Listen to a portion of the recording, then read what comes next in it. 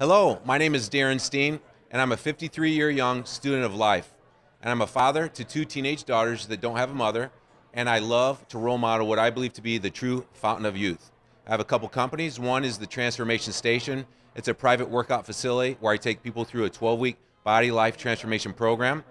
I have an online program called Fat Loss Lifestyle, and I have an anti aging product that helps people become a younger version of themselves. I'm super excited to welcome new people into my fold.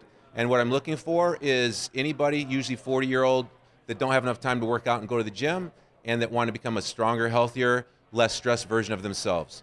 And an ideal client in my other business would be a CEO or an executive that feels like they're just thinking about work when they're at home or vice versa and they have an inability to focus on tasks and be very, very competent in what they're doing. So that's what I'm looking for.